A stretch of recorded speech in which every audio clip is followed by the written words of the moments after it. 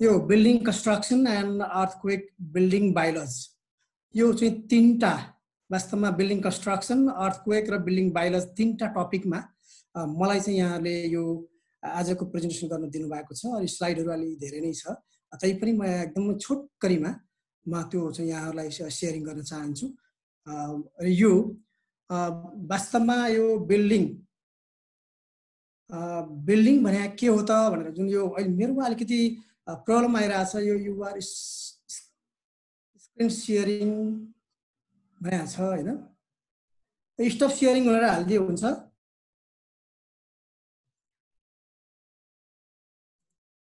होइन सर त्यो stop sharing नगर्नु होला। ए यहाँ मेरो छेकियो कि त्यो मेरो माथिको टाइटल छेकिया छ यहाँ के के प्रब्लममा हो त्यो एकचोटि हजुरको त्यो पावर पोइन्टै स्लाइड गर्नु त माथि। हजुर। माथिको टाइटल भन्नाले बिल्डिङ मिन्स भन्ने चाहिँ देखिरहेको छ है। युआर स्क्रिन सेयरिङ भने भनेको छ होइन। हजुर हजुर। अनि यो माथिको पार्ट आएर मलाई यहाँ समस्या बनायो। त्यो चाहिँ त्यहाँ स्टप गर्नुहुन्न सर। ठिकै छ सर। हामीले देखेकै छौँ देख्न त। ठिकै छ। ओके ओके ल ठिक छ। हुन्छ हस्।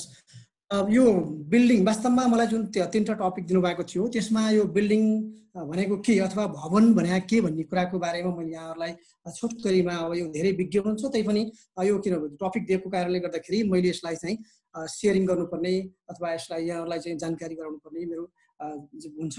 त्यस कारणले गर्दा यो बिल्डिङ भनेको any structure constructed of whatever material whether use as a human habitation or not which includes foundation, plinth, uh, plinth wall, floor, roof and buildings. Building भनेको वास्तवमा के हो भन्दाखेरि एउटा कन्स्ट्रक्टेड निर्माण गरिएको एउटा स्ट्रक्चर हो जुन मेटेरियलहरू प्रयोग गरिएको हुन्छ र त्यो मान्छे बस्ने अथवा अन्य कुनै संरचनाहरूको निम्ति यसलाई तयार गरिन्छ तर त्यसमा बिल्डिङ भन्नाले त्यसमा यस्तो चिज हुनुपर्छ कि कम्तीमा पनि foundation plinth wall floor roof भन्ने खालको कुराहरू चाहिँ अथवा त्यो बिल्डिङमा हुने सर्भिस जुन छ त्यो चाहिँ हामीले पुरा गरेको हुनुपर्ने हुन्छ। त्यसै गरी मैले अलिकति यहाँलाई सेयरिङ गर्न खोजेको यो संसारको संसारमा यहाँलाई जानकारी नै छ तर यो संसारमा सबैभन्दा अग्ला बिल्डिङहरू मध्येमा सबैभन्दा अग्लो बिल्डिङ जुन बर्ज खालिफा टावर छ दुबईमा अहिले आठ सय अठाइस मिटर अग्लो र एक सय त्रिसठी फ्लोर दुई हजार दसमा बनेको यो एउटा सबभन्दा अग्लो बिल्डिङ हो। त्यसै गरी सङ्घाई टावर जुन छ यो सङ्घाई अब चाइनाको सङ्घाईमा छ यो यसको छत्तिस छ सय बत्तिस मिटर हाइट र एक सय अठाइस फ्लोर जुन दुई हजार पन्ध्रमा निर्माण गरेको हो। मैले यो खालि यहाँहरूलाई जानकारीको लागि एउटा सेयरिङ मात्रै गरे। अलिकति कम्तीमा के चिज छ भने इन्फर्मेसन मात्रै गर्न खोजे हो। र बिल्डिङमा गइसकेपछि हामी बिल्डिङ्सको टाइप्समा जान्छौँ। बिल्डिङको टाइप्समा जाँदाखेरि हामी दुई प्रकारबाट यसलाई हामी चाहिँ डिभिजन गर्छौँ अथवा यसलाई यसको चाहिँ हामी व्याख्या गर्न सक्छौँ। एउटा चाहिँ हामी एउटा चाहिँ कुन हामीले कसरी बिल्डिङलाई प्रयोग गर्छौँ best on based on occupancy. यो आठ प्रकारको ग्रुपहरूमा चाहिँ हामी प्रयोग गर्न सक्छौँ। एउटा ग्रुप एमा रेसिडेन्सियल छ त्यसै गरी बीमा चाहिँ एसेम्ब्ली सीमा एजुकेसनल र ग्रुप डीमा चाहिँ हस्पिटल एन्ड क्लिनिक अनि इमा कमर्सियल ग्रुप र त्यसै गरी यफमा अफिस जुन हाम्रो गभर्मेन्ट अफिसहरू छन् ती सबै भए र त्यसरी जीमा चाहिँ इन्डस्ट्री एन्ड यचमा चाहिँ स्टोरेज बिल्डिङहरू भए जुन कोल्ड स्टोरदेखि लिएर थुप्रै चाहिँ काम गरी हाम्रो इन्डस्ट्रिजहरूमा काम गर्ने यी सबै स्टोरेज बिल्डिङहरूको रूपमा पर्छन्। मैले व्याख्या यो व्याख्या गरिरहँदाखेरि यहाँहरूलाई फेरि बोर फिलिङ पनि हुनसक्छ किन भन्दा यहाँहरूले सबै कण्ठ पारेर पहिला पनि पढेर आइसक्नु भएको जस्तो लाग्छ मलाई। त्यस कारणले म डिटेलमा जाँदिनँ तैपनि यो इन्फर्मेसन एकदमै सर्टकट इन्फर्मेसनको लागि रेसिडेन्सियल बिल्डिङ भने के हो त भन्दाखेरि जनरल रेसिडेन्सियल बिल्डिङमा चाहिँ हामी यो रेसि फेरि रेसिडेन्सियल बिल्डिङलाई पनि हामी त्यो चार प्रकारको चाहिँ हामी डिभिजन गर्न सक्छौँ। यो बस्ने जुन बिल्डअप एरियादेखि लिएर होइन यो चाहिँ कति हाम्रो चाहिँ मान्छेहरू बस्नुहुन्छ त्यसमा डिपेन्ड हुन्छ। र जनरल रेसिडेन्सियल बिल्डिङ भन्नाले यो पाँच पाँच सय स्क्वायर मिटर भन्दा सानो र चालिस पर्सेन्ट भन्दाखेरि फोर्टी पर्सेन्टभन्दा चाहिँ थोरै बस्ने ठाउँहरूलाई बुझिन्छ। त्यसै गरी residential with limited commercial plinth area एक सय पचास स्क्वायर मिटर भन्दा सानो र चाहिँ यो कमर्सियल युज यहाँहरूलाई थाहा छ हामी सानो साना किराना पसलदेखि लिएर सबै हाम्रो घरहरू हाम्रो तिन तला चार तला घरहरूमा पनि हामी यो युज गरिरहेका हुन्छौँ। तलपट्टि सटर बनाएर माथिपट्टि हामी बस्छौँ भाडामा दिन्छौँ होइन? यस्ता कुराहरू हुन्छन्। त्यसै गरी रेसिडेन्सियल एपार्टमेन्टको पार्टमा जाँदा थ्री अर मोर फ्यामिलीजहरू बस्ने जुन एपार्टमेन्टहरू हुन्छन् यहाँहरूलाई थाहा छ। एउटै फ्ल्याटमा पनि त्यो बस्न सक्ने सम्भावना हुन्छ। काठमाडौँ अथवा इन्टरनेसनल उसमा त धेरै भइसकेका छ। र पोखरामा पनि एपार्टमेन्ट वास्तवमा अहिले दुईवटा दुईवटा कम्पनीहरूले एपार्टमेन्ट सुरु गरिसकेको र अर्को एउटा चाहिँ एप्रुभल दुईवटा चाहिँ एप्रुभलको अवस्थामा भएको पोखरा महानगरपालिकाको कुरा पनि म यहाँहरू जानकारी गराउन चाहन्छु। भनेपछि पोखरामा पनि अब एपार्टमेन्टहरूको सुरुवात भइसकेको अवस्था छ। त्यसै गरी डर्मिटोरिज एन्ड होटेल्सहरूको कुरा गरिरहँदाखेरि यो चाहिँ with without dining facilities for more than ten persons यो भनेको चाहिँ स्पेसली होटेलहरूको कुरा हो होइन? यहाँलाई त्यो कुरा जानकारी गराउन चाहन्छु र ग्रुप बीमा assembly buildings more than fifty percents अटाउने होइन? ती पा ती चाहिँ ठुल्ठुला चाहिँ तपाईँका अब अहिले हाम्रा तपाईँहरूलाई थाहा छ यो चाहिँ हलहरू भए होइन? थुप्रै कुराहरू छन् यी यी पार्टहरूमा चाहिँ यो थिएटर्स भए सिनेमा हल्सहरू भए हाम्रो सभागृहहरू भए अडिटोरियम्सहरू हल भए पार्टी प्यालेसहरू भए एक्जिबिसन हलहरू म्युजियम सबै चाहिँ यिनीहरूलाई हामी यो भन्न चाहन्छौँ। यो चाहिँ ग्रुप बीमा पर्दछ भने ग्रुप सीमा एजुकेसनल स्कुल कलेज ट्रेनिङ इन्स्टिच्युटहरू पर्दछन्। बीमा हस्पिटल एन्ड क्लिनिक्स यहाँलाई थाहा छ। यो चाहिँ सय स्क्वायर फिट सय स्क्वायर मिटर खाना भयो भने क्लिनिकहरू हुन्छ। होइन त्यसै गरी यीमा चाहिँ कमर्सियल भनेको सफ्ट्सहरू। सुपर मार्केट्सहरू होलसेल बजारहरू होइन? रिटेल बजारहरू भए मलहरू भए जस्तै भाटपटेनीको हामी इक्जाम्पल लिन सक्छौँ होइन? डिपार्टमेन्टल स्टोर्सहरू भए यस्तो यिनलाई चाहिँ जनाउँछ भने ग्रुप एफमा चाहिँ अफिस अफिस भनेको यहाँहरूलाई थाहा छ हाम्रो बिल्डिङ जुन अफिसियल प्रयोगको र बिजनेस प्रयोगको लागि प्रयोग गरिन्छ र त्यो एक सय पचास स्क्वायर मिटरभन्दा सानो हुन्छ भन्ने चाहिँ छ। त्यसै गरी ग्रुप डीमा जीमा चाहिँ तपाईँको इन्डस्ट्रिज छ। इन्डस्ट्रिजमा यहाँलाई थाहा छ हामी ठुल्ठुला उद्योगहरू औद्योगिक क्षेत्रहरू चाहिँ उद्योगहरू सञ्चालन गरिरहेका छौँ। ती उद्योगहरूलाई जनाउने छ। होइन त्यसै गरी याद स्टोरेजहरूदेखि लिएर थुप्रै जहाँ हामी सामानहरू चाहिँ लएर एकदम जम्मा गरेर राख्छौँ ती पार्टहरूलाई चाहिँ जनाउँछौँ। त्यसै गरी सेकेन्ड पार्टमा जाँदाखेरि हामी हाइट र स्टोरीको आधारमा है मैले यहाँलाई देखाएको जुन अग्ला बिल्डिङहरू थिए त्यसैलाई पनि हामी क्याटेगोराइज गर्न सक्छौँ र फर्स्टमा हामी जनरल बिल्डिङ्स भन्छौँ। यो जनरल बिल्डिङ्समा चाहिँ एक तलादेखि पाँच तलासम्मको र सोह्र मिटर भन्दा तलको हाइटको लागि चाहिँ हामी जनाउँछौँ र यसमा चाहिँ यो प्रयोग गरे त्यसै गरी मिडियम राइज छ तलाबाट आठ तला बिल्डिङहरूलाई जनाउँछ र सोह्रदेखि पच्चिस मिटरसम्मका अग्लाहरू बिल्डिङहरू यसमा हुन्छन्। त्यसै गरी हाई राइज बिल्डिङहरूमा नौदेखि उन्चालिस तला छन् र पच्चिस मिटरदेखि सय मिटरसम्म छ भने स्काई स्क्रापर्स अहिले मैले तपाईँहरूलाई देखाएको जुन बिल्डिङ थियो होइन सङ्घाईको जुन बिल्डिङ थियो त्यसै गरी दुबईको जुन बिल्डिङ थियो त्यो बिल्डिङ भनेको स्काई स्क्रापर्समा पर्दछ जुन चालिस स्टोरिजभन्दा माथि र सय मिटरभन्दा अग्लो छ। त्यसै गरी मैले यो यहाँहरूलाई अब मलाई अलिकति यहाँ डिस्टर्ब चाहिँ भएको छ यो किन डिस्टर्ब भएको छ होइन? अब यो कन्स्ट्रक्सन जस्तै यहाँ यो अलिकति यसले चाहिँ डिस्टर्ब गरेकै छ। अब यो कन्स्ट्रक्सन कन्स्ट्रक्सन भनेको के हो भनेर यहाँहरूलाई चाहिँ जुन बिल्डिङ कन्स्ट्रक्सन अहिले बिल्डिङको परिचय दिएँ मैले होइन? त्यसै गरी अब बिल्डिङ कन्स्ट्रक्सन भने के त? कन्स्ट्रक्सनको पार्टमा जाँदा मैले कन्स्ट्रक्सनलाई मात्रै कसरी हामी डिफिनेसन अथवा डिफाइन गर्छौँ भन्दाखेरि बिल्डिङ्स बिल्डिङ्स अफ समथिङ्स कुनै चिज बनाउने हाउस हुनसक्छ घर हुनसक्छन् तपाईँका रोड हुनसक्छन् ब्रिज हुनसक्छन् होइन? ब्रिज सँगसँगै क्या ड्रेनेजहरूदेखि लिएर थुप्रै इन्फ्रास्ट्रक्चरहरू हुन्छन् त्यसलाई हामी कन्स्ट्रक्सन भन्छौँ। र यो मैले एउटा फोटो देखाएको छु यहाँलाई यो चाइनाको यो चाइनाको चाहिँ यो एउटा फ्लाइओभर ब्रिज लगायतको यो टाउन प्लानिङको एउटा यो चाहिँ एउटा सानो सहरको एउटा पिक्चर देखाएको छु। त्यसै गरी यो बिचमा एउटा घर छ। यो घर चाहिँ पोखराको लेक साइडमा बनेको घर हो यहाँहरूले त्यो पनि सेयरिङ गर्न सक्नुहुन्छ। र यो ब्रिज जुन छ यो संसारमा सबभन्दा लामो ब्रिजको रूपमा यसलाई हामी चिन्छौँ। यो चाइनामा यसरी अहिले बनिरहेको अवस्था छ। र मैले अर्को सेकेन्ड सेकेन्डमा मैले अहिले देखाएको जुन छ जुन फ्लाइओभर ब्रिज रोडहरूको कन्स्ट्रक्सन होइन यहाँ टल बिल्डिङ चाहिँ तपाईँको बिल्डिङ्सहरू त्यसै गरी यहाँ टाउन प्लानिङ गरेर बनाइरहेको बिल्डिङ्सहरू सबै कुराहरूलाई तर्फ एक हामी अलिकति ध्यान कन्सन्ट्रेसन गरेर हेर्न थाल्यौँ भनेदेखि यो हामीले पुरै यसबाट कन्स्ट्रक्सन के हो भन्ने कुरा सबै ल्यान्डस्केपिङदेखि लिएर सम्पूर्ण कुराहरू हामी यहाँ पाउन सक्छौँ। त्यस कारणले गर्दाखेरि पनि म यहाँहरूलाई यो कन्स्ट्रक्सन भनेको के हो भन्ने कुरा यहाँहरूले जान्नुभयो भनेर फिगरले पनि बताउँछ जान्नुभयो भन्ने मलाई लाग्छ। त्यसै गरी त्यसै गरी अब कन्स्ट्रक्सन अलिकति थ्योटिकल पार्टमा हामी जान्छौँ। अहिले अहिले हामीले फिगर हेऱ्यौँ। कन्स्ट्रक्सन इज पोसिबल अब कन्स्ट्रक्सन कसरी हुन्छ त?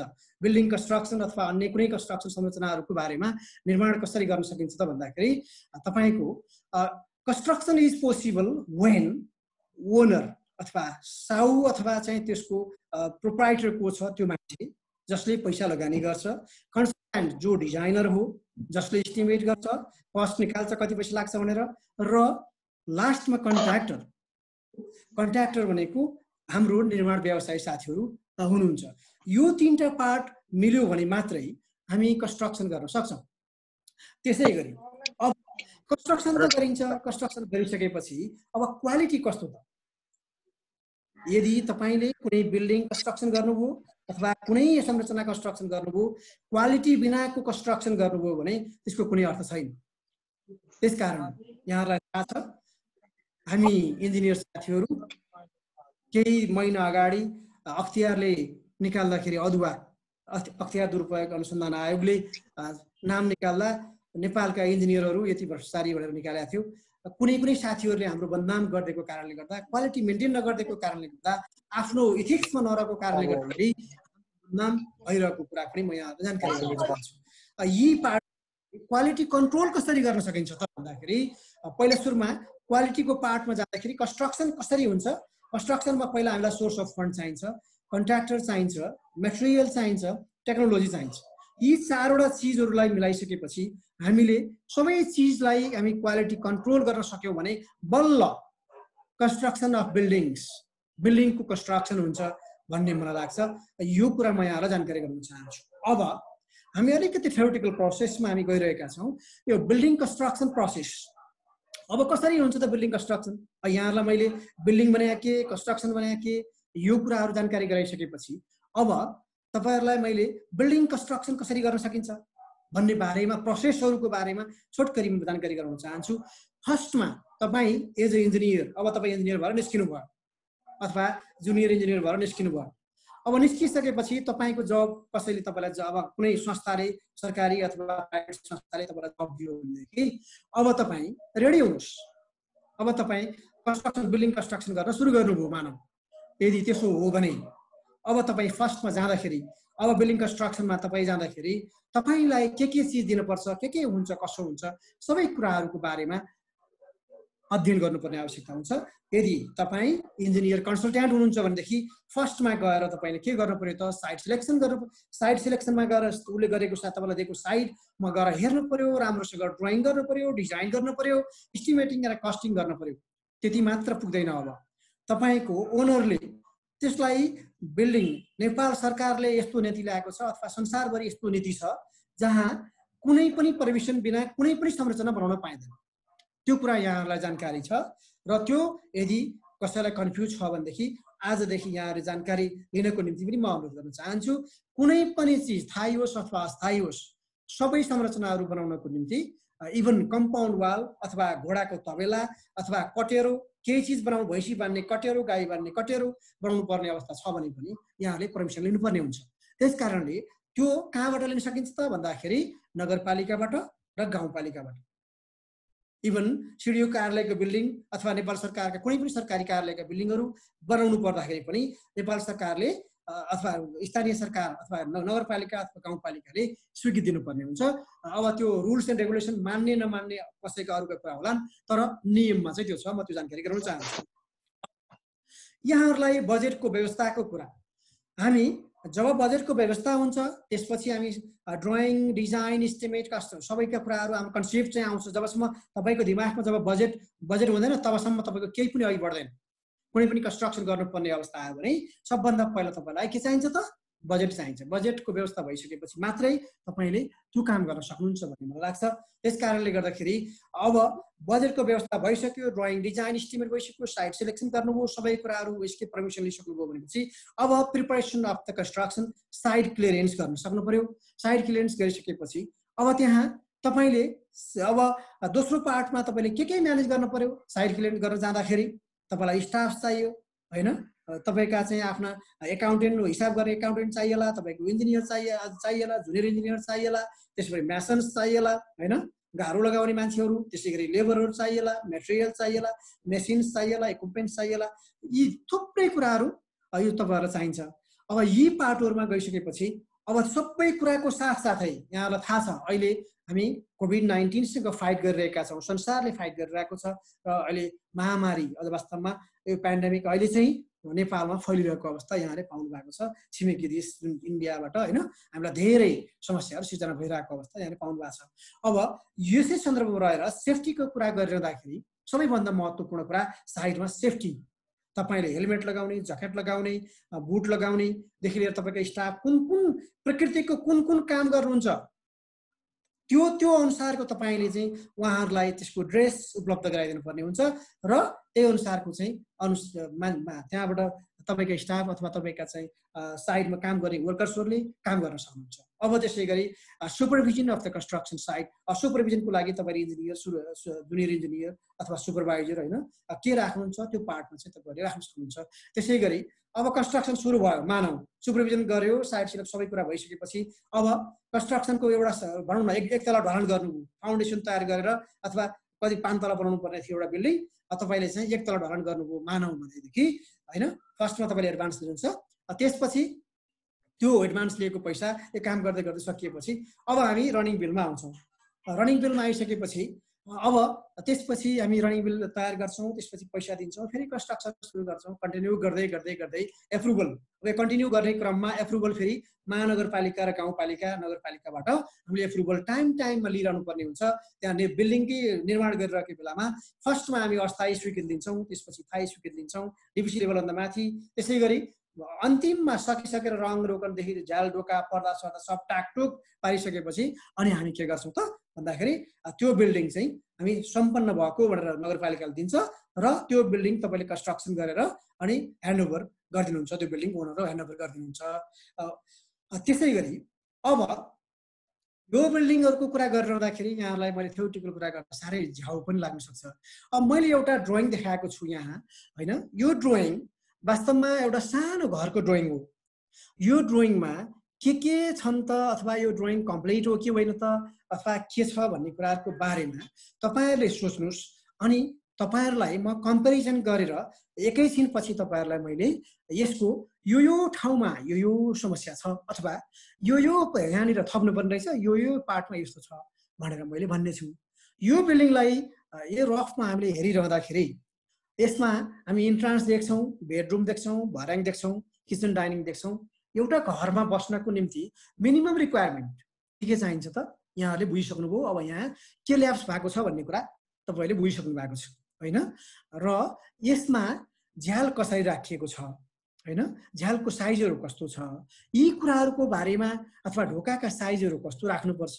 यी कुराहरूको बारेमा वास्तवमा बिल्डिङ ड्रइङ गर्ने मान्छे अथवा तपाईँ इन्जिनियर हो सिभिल इन्जिनियर अथवा आर्किटेक्ट अथवा अन्य साथीहरू त अब आफ्नै पार्ट हुन्छ तर स्पेसल्ली सिभिल इन्जिनियर र आर्किटेक्ट साथीहरूलाई अथवा जुनियर इन्जिनियर साथीहरूलाई म के अनुरोध गर्न चाहन्छु भने फर्स्टमा तपाईँको ड्रइङ तपाईँले दिएको भिजन जस्तो छ त्यस्तै त्यो ड्रइङ बन्छ अथवा त्यो घर बन्छ र तपाईँले पछि गएर बनाएर हेर्दाखेरि ओहो मैले त यस्तो बिल्डिङ बनाएको रहेछु आहा कस्तो आनन्द भनेर तपाईँले महसुस गर्नुहुन्छ। अथवा तपाईँले बनाउँदै तपाईँले बनाएको ड्रइङ अनुसार त्यो बिल्डिङ यदि त्यहाँले सुन्नु भएको होला मान मान्छेले धेरै बनाउने बुट्टा भर्यो दुनियाँ कुरा गर्न थाल्यो भने मान्छे बनाउन लागेको बनाउन लाग्दा के भन्छ अरे? उड भन्छ भन्ने एउटा उखान छ यहाँलाई थाहा छ है।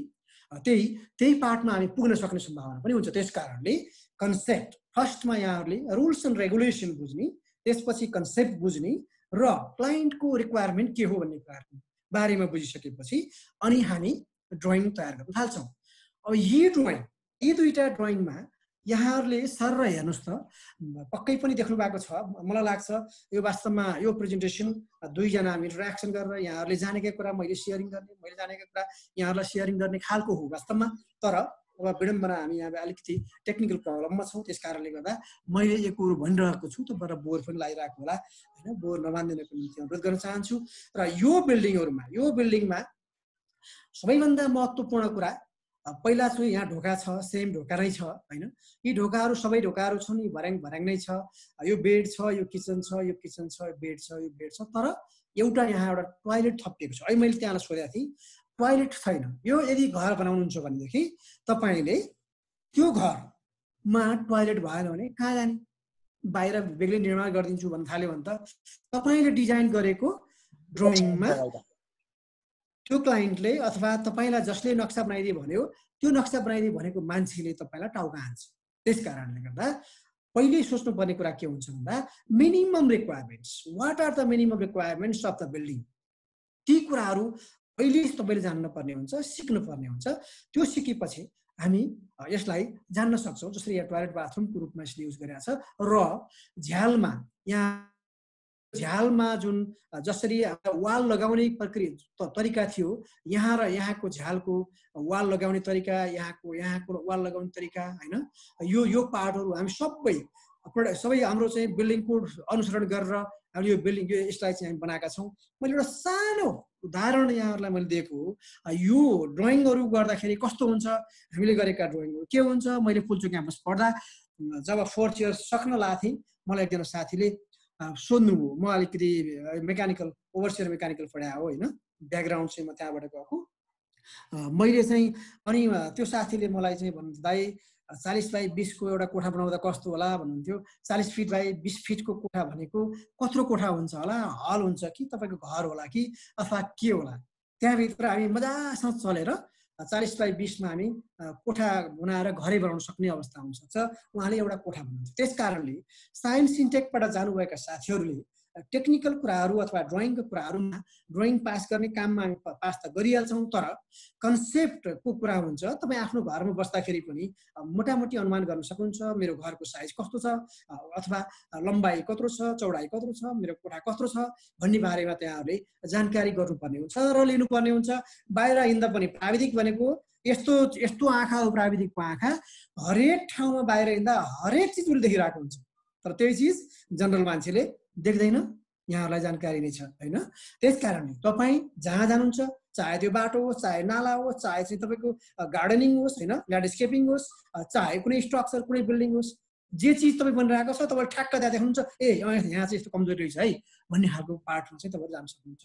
यी कुराहरूलाई म सानो एउटा ड्रइङ देखाएर यहाँलाई इलिस्ट्रेट अथवा एउटा प्रश्न पार्न गइरहेको छु। अब कुरा आयो यो तपाईँलाई बिल्डिङहरूको ड्रइङ भइसकेपछि अब मेटेरियल कस्तो प्रकारको मेटेरियलहरू राख्दाखेरि बेस्ट हुन्छ त भन्ने बारेमा पनि अथवा हामीलाई एउटा बिल्डिङ कन्स्ट्रक्सन गर्न मैले यहाँहरूलाई एउटा बिल्डिङ कन्स्ट्रक्सन गर्नको लागि रेडी बनाउँदैछु। तपाईँ तयार हुनुहोस्। तपाईँ कुनै जब लिँदै अहिले जबमा जोइन हुनुभएको छ। तपाईँले बिल्डिङको बारेमा एकदमै हेर्दै हुनुहुन्छ। अब तपाईँलाई चाहिन्छ के के? मैले के के भनेको छु? अघि पछि भएको होला। त्यसलाई चाहिँ माइन्ड नगर्नु होला तर के के चिज तपाईँहरूलाई चाहिन्छ भनेर मैले मोटामोटी मोटामोटी यसलाई चाहिँ यो मेरो टाइम नभएको कारणले गर्दाखेरि प्रयास चाहिँ जारी राखेको छु। जस्तै तपाईँ बिल्डिङ कन्स्ट्रक्सनको पार्टमा जाँदाखेरि सिमेन्ट आवश्यकता पर्छ त्यो पिपिसी सिमेन्ट होस् या ओपिसी सिमेन्ट होस् होइन? यो ग्रेडमा चाहिँ त्रिचालिस र त्रिपन्न ग्रेड यो तेत्तिस ग्रेड त हामी अहिले जनरली युज गर्दैनौँ। तर एउटा कुरा नबिर्सिनु होला तपाईँहरूले एनएस कम्पलसरी। एनएस नभएको कुनै पनि मेटेरियल होइन? चाहे त्यो रड होस् चाहे सिमेन्ट होस् चाहे अन्य कुनै मेटेरियल होस् होइन? तपाईँ बाथरुममा फिटिङ गर्ने इलेक्ट्रिकल फिटिङ गर्नेदेखि लिएर थुप्रै हुन सक्छन्। ती पार्टमा चाहिँ तपाईँहरूले कुनै पनि हालतमा कम्प्रोमाइज गर्न हुँदैन। एनएस चिन्ह प्राप्त भएको र त्यसका स्ट्रेन्थहरू टेस्ट गरेका होइन? बिल्डिङको सिमेन्टको पार्टमा रडको पार्टमा सरी यो पार्टमा चाहिँ तपाईँहरूले टेस्ट गरेको चाहिँ रिपोर्टहरू चाहिँ लिनुपर्ने हुन्छ त्यो नबिर्सिनु होला त्यस्तै गरी रेन्फोर्समेन्ट स्टिलको कुरा हुन्छ होइन? चार सय पन्ध्र त्यस्तै गरी एफी चार सय पन्ध्र पाँच सय पचास होइन? त्यस्तै गरी स्यान्डका कुरा एग्रिगेटका कुराहरू छन्। त्यस्तै गरी तपाईँलाई अब यो वाटर सबैभन्दा महत्त्वपूर्ण कुरा के पानी तपाईँले पानीमा कुनै इम्प्युरिटिज अथवा अर्ग्यानिक म्याटर अथवा चाहिँ कुनै ओइल अथवा लाइम अथवा कुनै मिक्स गरेर यदि दिनुभयो भने त्यसले सिमेन्टसँग रियाक्सन गर्छ होइन इम्प्युरि अर्ग्यानिक मेटेरियल त नगर्ला तर अन्य चिजहरू जसले रियाक्सन गर्छ त्यसले गर्दाखेरि समस्या सिर्जना गरिन्छ। त्यस कारणले यति चिज यहाँले बुझ्दा राम्रो हुन्छ र मलाई लाग्छ यहाँहरू सबै सिमेन्ट र वाटरको चाहिँ रियाक्सन के छ सब पढेर आइसक्नु भएको छ एग्रिगेट कस्तो प्रकारको एग्रिगेट चाहिन्छ कोर्स एग्रिगेटदेखि लिएर होइन राउन्ड कोर्स भने के यसमा कुन राम्रो हुन्छ सबै कुरा थाहा छ होइन। सबै चाहिँ अब क्रस क्रस गरेको एग्रिगेटमा तपाईँको चाहिँ त्यो बोन्डिङ राम्रो हुन्छ होइन? त्यो चाहिँ राउन्डमा चाहिँ त्यो बोन्डिङ राम्रो हुँदैन। यी पार्टहरूमा चाहिँ यहाँहरू सबै पढिसक्नु भएको छ। र सानो पार्टमा पनि यदि तपाईँ अहिले मैले भनिसकेँ यो चाहिँ क्रसर स्यान्ड जस्तै क्रसर स्यान्ड चाहिँ तपाईँको हामी चाहिँ प्रयोग गर्ने गर्छौँ आरसिसी बिल्डिङमा भनेदेखि फाइन स्यान्ड चाहिँ प्लास्टरमा चाहिँ प्रयोग गर्ने गर्छौँ। यी पार्टमा चाहिँ हामीले काम गर्नुपर्छ ढुङ्गाको पार्ट सरी ढुङ्गा ढुङ्गा पनि यस्तो ढुङ्गा अलिक बलियो खालको ढुङ्गा त्यो जुन यो चाहिँ अब यो रातो रातो टाइपको ढुङ्गा कच्चा ढुङ्गाहरू प्रयोग गर्नु हुँदैन। पछि गएर त्यसले एकदमै समस्या सिर्जना गर्छ त्यहीँबाट क्र्याक हुँदै जान्छ र ढुङ्गाहरू बलियो ढुङ्गा ब्रोकन गरेको त्यसले चाहिँ बोन्डिङ राम्रोसँग गर्न सकोस्। यो पार्टमा चाहिँ हामी जानुपर्ने हुन्छ र ब्रिक यहाँलाई first class brick well baked राम्रोसँग पाकेको ब्रिक पकाएको राम्रोसँग यो चाहिँ एनबिसी कोडले दिए अनुसारको हामीले गर्नुपर्ने हुन्छ। तर यो जुन अहिले चाहिँ मैले साइज दिएको छु यहाँलाई यो साइज अनुसार त वास्तवमा बजारमा त पाइँदैन होइन? त्यो यो चाहिँ यो हाम्रो चाहिँ एनबिसीले नै दिएको कुरा हो। मैले यहाँलाई जानकारी गराउन चाहेँ। र अब अहिले तपाईँहरूले जतिसुकै जतिसुकै मिहिनेत गर्नुहोस् अथवा जतिसुकै जे गर्नुहोस् क्वालिटीको कुरामा गइरहँदाखेरि क्वालिटीको कुरामा गइरहँदाखेरि अहिले हामीले कङ्क्रिट जुन छ कङ्क्रिटको पार्टमा जाँदाखेरि कङ्क्रिटमा स्ट्रेन्थ र स्ट्रेन्थ मात्रै होइन वर्क एबिलिटी त्यसै गरी घटाउनु पर्ने होइन? त्यो पार्टमा चाहिँ हामी काम गर्नको लागि हामीलाई अहिले चाहिँ प्लास्टिसाइजर्सहरूको आवश्यकता पर्छ। त्यो प्लास्टिसाइजर्सहरू एडमिक्सरको रूपमा हामी प्रयोग गर्न सक्छौँ। तपाईँले आफ्नो डिजाइन मिक्स डिजाइन गरिसकेपछि कति लाग्दो रहेछ त भन्ने कुरा त्यहाँबाट थाहा पाउनुहुनेछ। त्यसै गरी काठका कुराहरू काठमा चाहिँ तपाईँको घरहरूमा देख्नु भएको होला पसाङ्गिन्छ। खापा ल्याए पसाङ्गिएर लाग्दै लाग्दैन इभन मेरै घरमा पनि त्यस्तै अवस्था सिर्जना भएको छ। किन भन्दाखेरि मैले मलाई चाहिँ ढाँटे अरूले ढाँट दिए त्यसपछि अनि यो चाहिँ अब सिजन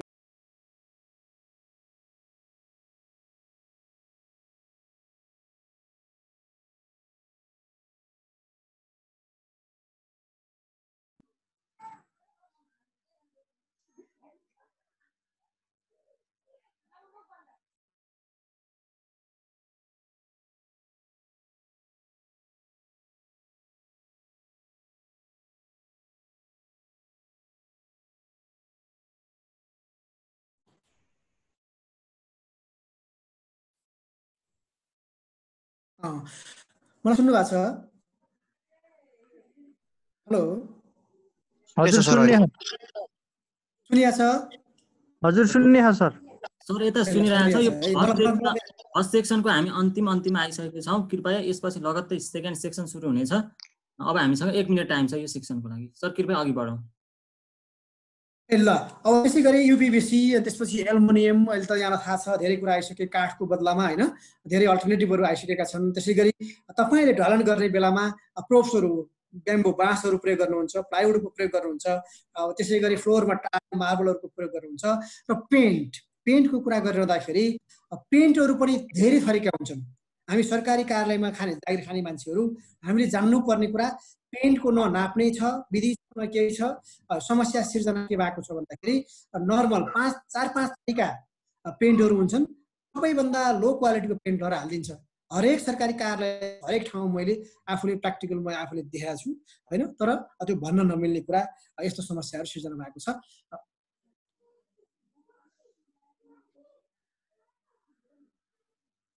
सुनिया छ हजुर सर सुन्ने त्यसै गरी अब कन्स्ट्रक्सन इक्विपमेन्ट